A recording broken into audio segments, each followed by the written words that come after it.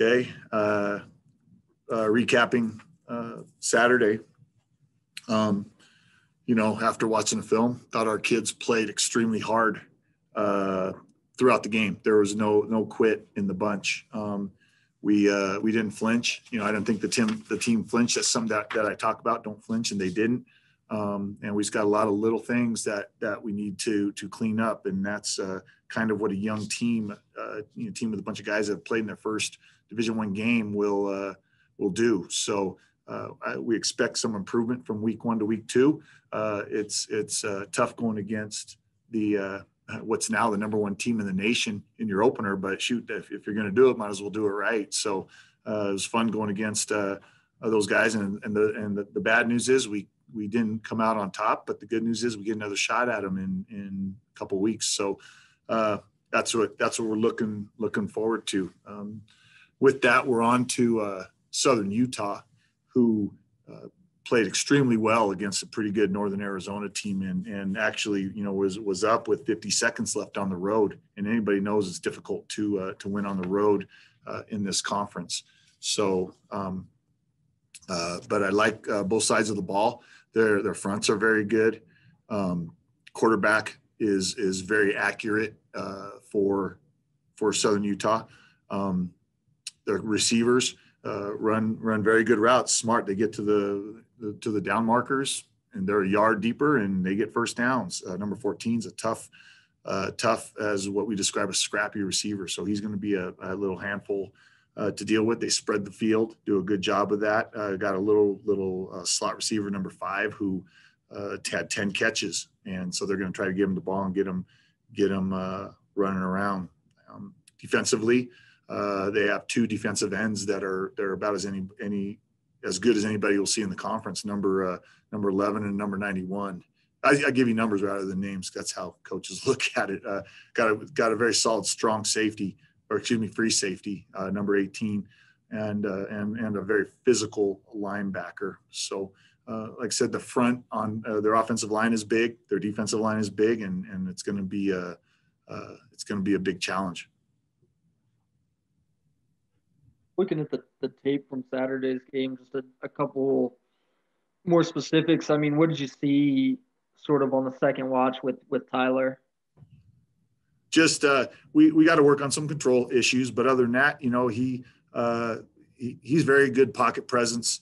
Uh, understands when to get out and and, and take off running. Um, but no, Tyler Tyler played a good game, but he can he can play better, and he's going to play better in his second game. So uh, uh, we're looking forward to improving on last week's performance.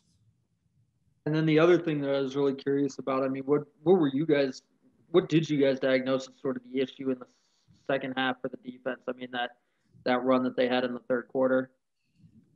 Well, just we got a guy cut out of a gap, and and you know, truth be told, uh, uh, the referees missed. Uh, well, I'm never mind.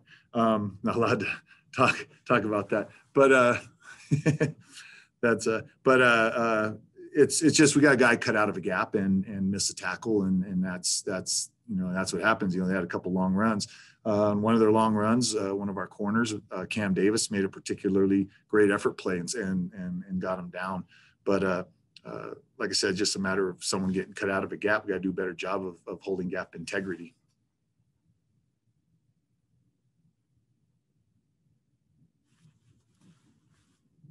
guys done with me already? Oh, hey, coach. Um, can you just kind of walk us through like what this week is going to look like um, preparing to hit the road to Utah?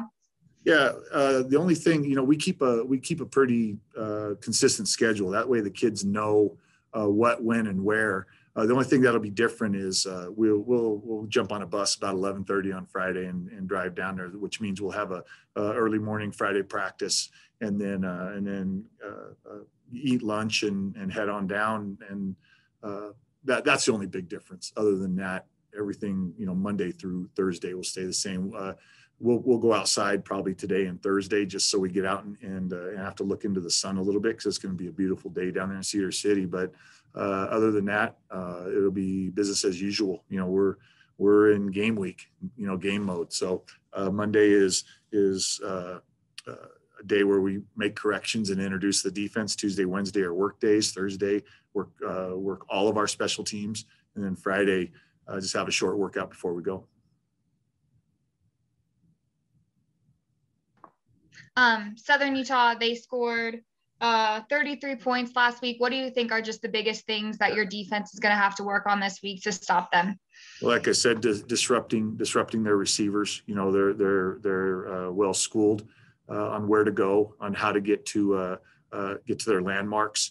Um, like I said, you know, earlier on, on their third downs, they'll they'll run to the chains and get one yard deeper. You know, that that's a sign of a well coached well coached bunch. And then the uh, the uh, quarterback very efficient gets it there. So we're gonna have to, you know, somehow, some way, manufacture some uh, some uh, uh pressure on the guy to to get him uh, out of his rhythm. But uh, if you let him just stand back there and throw, um, he's gonna he's gonna tear you apart. So, like I said they've they've done a they've done a good job. I think last week was his first game, number four, I believe, and and he showed, you know, he's a very capable, very very competent quarterback yeah, the new guy. I mean, does he bring anything, uh, you know, different at that spot than their last quarterbacks? Because they've been, you know, they haven't really had a guy consistently at that position recently. Yeah, he's like I said, he he he's solid. You know, uh, played at Snow College, I think, and and yeah, I think he was on the roster last year for some or twenty. When I say last year, I mean 2019.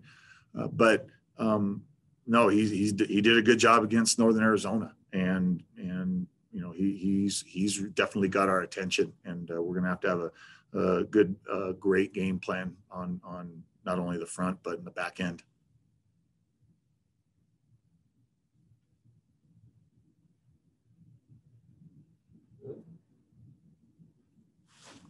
Um, Coach, do you feel like the guy? I know a lot of the guys said that um, they were pretty nervous. Do you feel like a lot of them got a lot of their nerves out last week, and do you think that'll help them this week going um, into this game?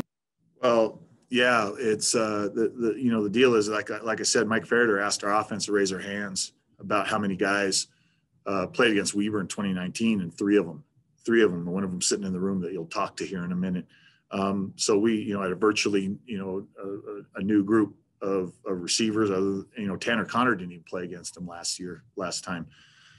Um, so yeah, that you get that out of the way. We had four of our of our of our four secondary starters. Three of them had never played. Never not only uh, have never pl- not only didn't play Weber, but haven't played in a Division One game, and so uh, that was that was a big factor as well. Three of our starting offensive linemen uh, had very minimal uh, or very minimal experience, or had not had not played in the game Division One games. So uh, yeah, we got a lot of things, you know, uh, taken care of, and I think we will.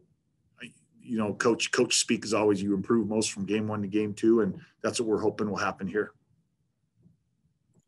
For those that um, you know had played before but hadn't played in quite a long time, looking at the film, how do you feel like your guys kind of maybe knocked off the rust and kind of got back into the groove? Yeah, I, I think I, well, you know, you look at guys like O'Shea Trujillo. He played a tremendous game. Guy played. The guy left it all on the field. When you always say that, you know, leave leave everything on the field. He's one that did it. Uh, you you'll talk to Teron here in a second. I'm not just saying this because he's in here. Uh, Teron at center uh, uh, controlled the whole thing. That's what the center's supposed to do, and that's what we expect of him. And and and he played uh, he played a great game. You know, Tanner Conner uh, got back to form a little bit, and uh, and you know Malachi had his had his uh, moments as well. You know, so some of those guys that uh, that had played in the past did you know the, the rest the rest came off pretty quickly. It was it was good, and you know now we get all these guys with a with another game experience. I like about, Wade Dylan. talk about with the, the young guys. I mean, having a lot of things to correct, and that's expected what does that process look like? I mean, you pointed out in the film room, and then and then what does the process look like from there when you're trying to you know talk about correcting these mistakes? yeah, you just you just chase them around on the field. You know, you don't cut anybody any slack at any time, and make sure that you know they're taking their steps right, they're getting into the right you know in, into the right route or or or blocking the right person or or fitting in the right gap, and that begins today when we do our uh, our corrections. You know, we'll start practice today with corrections from last week and then and then transition to uh, to the next opponent. And said it's just a matter of uh, you know football is a, a, thing where rep, it's a rep, repetition type deal. To uh, uh you got to see things over and over and over again in order to be you know to perfect it.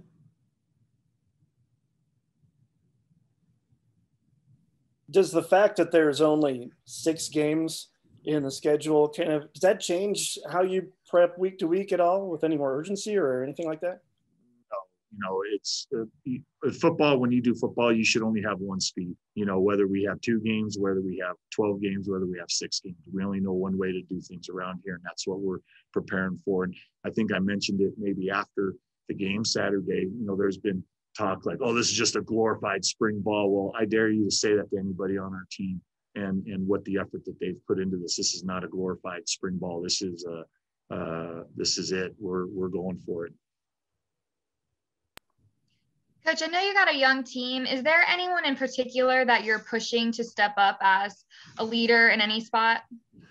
Uh, leadership, you know, when, well, when we say young team, you know, you can even say inexperienced as young team. There's young men in here, Jaden Dawson, who you're going to talk to. You know, he's considered young only from the standpoint he hasn't had a whole lot of experience, but we expect him to step up in a leadership role on the back end. Um, but you know, we we do have some, you know, Tehran, you know, for being a veteran. He's a he's a sophomore. Uh, you know, he's our you know he's he's a young guy still, and we expect him to provide a lot of leadership uh, up front as well. And uh, you know, that's kind of where where we're looking.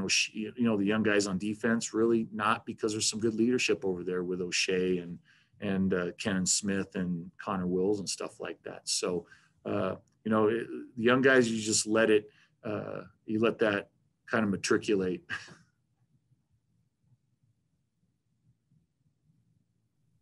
this is going to be a, a big topic. I think, you know, playing the spring season and then going right into a fall season. Where did you think the guys were in terms of, you know, like fitness uh, on Saturday after sort of the, the prep period that you had in the spring? I thought uh, I thought our guys were did the right thing in the month of December. They came back uh, in January uh, in in I'm not going to say in super great shape, but in reasonable shape that allowed us to to start conditioning and start getting them going. And and they're in they're in fine shape right now. Plus with uh, Brandon Stevens in the weight room, the work that he does with them, you know, it's it's all encompassing. Rather, you know, not just cardiovascular but physically as well. And the reason why you lift weights is to uh, not only get bigger, stronger, faster, and be able to push guys around, but it also helps prevent injuries. And like I said, with the work that Brandon's done in in the weight room uh, has enabled us as well. And I, you know, I, I, think we got a little bit tired, but that's to be expected in the first game. Uh, but I think I think we'll be fine. That the, the, guys did a great job coming back in shape and then and then jumping right into the conditioning and stuff that we did in January before we started camp. Yeah, I saw Mitch real quick before the game. Uh, he's back in the weight room helping Brandon. It seems like. Yeah, I think he's doing some internship or something. I don't know. I tell him he should be playing this year. We shouldn't have redshirted him his first year. so, but uh, yeah, him, yeah, he, uh, Mitch and Mikey should still be here. But uh, uh, yeah, I, it's it's good to see him over there helping out.